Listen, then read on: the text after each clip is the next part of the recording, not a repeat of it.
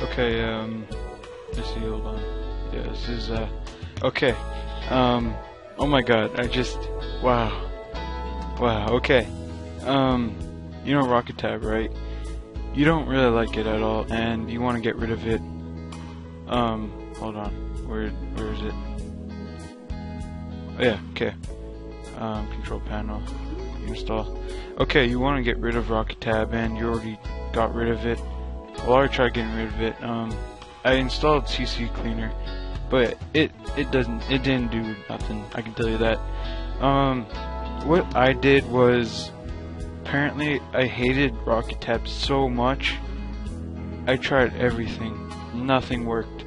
So um, what I did was I just clicked here, and it was like right here, and then I just I deleted it. You know. Oh crap. But yeah, I deleted it and it, it said open or exit. I exited. I don't know if it's still here. Um, hold on. Oh, what the hell? It's here for some reason. Browser safeguard exe rocket tab. Uh, I don't really like it at all. I think, yeah, well, it's not there, and I'm like, here, watch, I'll show you. Um, here. Look, nothing. Nothing. I am so happy.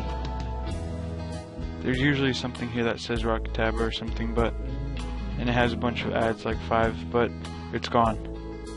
Oh my god, it's gone.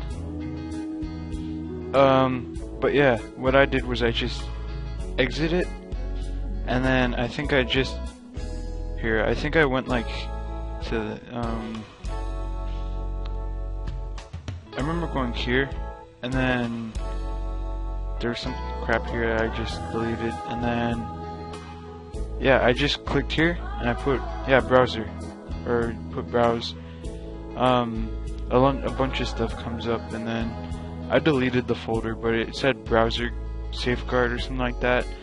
I just once once I deleted it, I like I just deleted it, the file that held Rocket Tab and whatnot, and yeah, it's gone. You know, no buggy ads, no out of nowhere ads. You know, it's gone. Wow.